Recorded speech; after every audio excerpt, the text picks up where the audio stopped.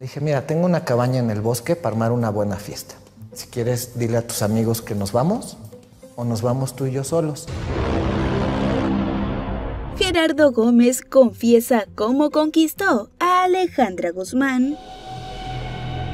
Por dos años, la cantante mantuvo un romance con él y ahora comparte cómo fue que inició la relación entre ellos, señalando que todo comenzó como un relajo, pero posteriormente se convirtió en algo realmente serio.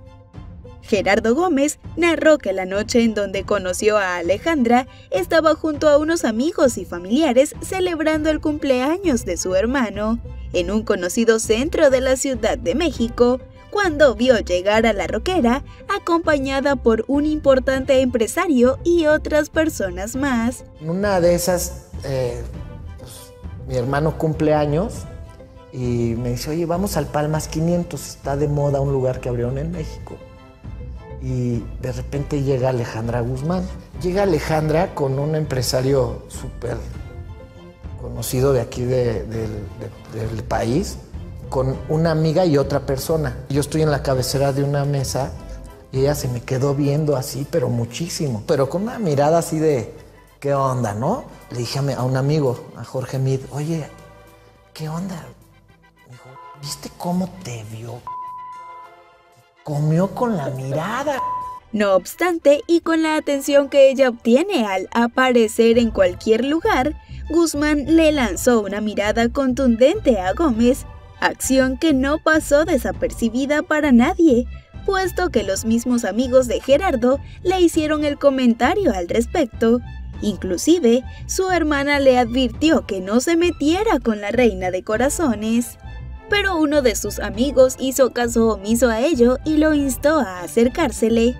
Ya en el camino, el productor se acobardó escabulléndose en el baño para pasar los nervios, mientras su amigo comenzaba una conversación con la primogénita de Enrique Guzmán. No, no, está muy, o sea, no. Y estaba mi hermana, porque era cumpleaños de mi hermano, me dijo, ni se te ocurra, Gerardo, ni se te ocurra con Alejandra Guzmán, no, no. Entonces mi amigo ya dos, tres tequilas, me dijo, vamos. Pues ya me eché dos tequilas, ya me armé de valor, vamos. Pues él es muy alto, mi amigo, ¿no? Y va adelante y yo así escondido atrás de él. Que no, que, qué oso, cabrón. Luego que llega y le dice, hola Alejandra, él. Y yo me doy la vuelta y me meto al baño. Que no, no puedo. Al percatarse de que ya Gerardo había salido, la misma Alejandra le pide a su compañero que los presente y fue entonces que iniciaron una charla en la que le ofreció una cabaña para continuar el festejo, siendo específico al señalar que una de las propuestas era grupal y la otra entre ellos dos. Ya se quedó ahí, oye Alejandra, tu Grammy, le dio por su lado y todo esto musical. Entonces salgo yo del baño y ella le dice a mi amigo, oye, preséntame a tu amigo el güerito. Y le dije, hola, ¿cómo estás Alejandra? Dije, mira, tengo una cabaña en el bosque para armar una buena fiesta. Si quieres, dile a tus amigos que nos vamos o nos vamos tú y yo solos. Ahorita me contestas. Y me doy la vuelta y dijo, güerito, me voy contigo.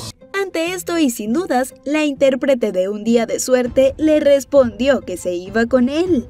Prontamente, el joven que llegó con Guzmán se dio cuenta de la situación y trató de impedir que ella lo dejara ahí, pero en vano, puesto que a pesar de despedirse, tras ver la escena, la mamá de Frida Sofía le recalcó que se irían juntos. Como que el cuate con el que iba se dio cuenta y empezó a pedir la cuenta ya para irse. Entonces, este cuate la agarra y se la lleva y le dije, Alejandra, nos vemos, por lo menos tu teléfono. Me dijo, no, ya te dije que me voy contigo y me voy a ir contigo. Dijo, pero yo no me subo a un coche que no sea blindado. Yo le dije, ¿hay otros o qué? Y yo no tenía coche blindado, la verdad, güey, pero pues yo, pues, ya sabes, ¿no?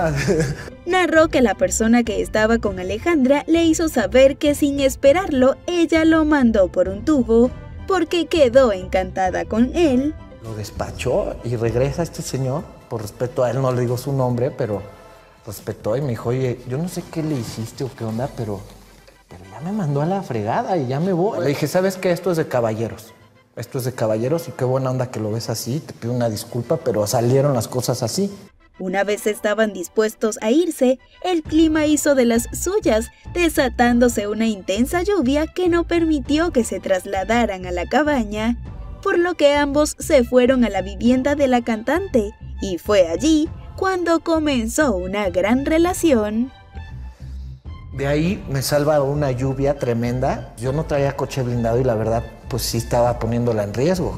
Entonces dije, oye, ¿sabes qué? Te llevo a tu casa, está lloviendo y no podemos ir a, la cabaña por esto y lo otro. Y me dijo, no, vámonos a mi casa. Y pues ahí empezó una relación muy bonita, dos años y fracción, desde ese día.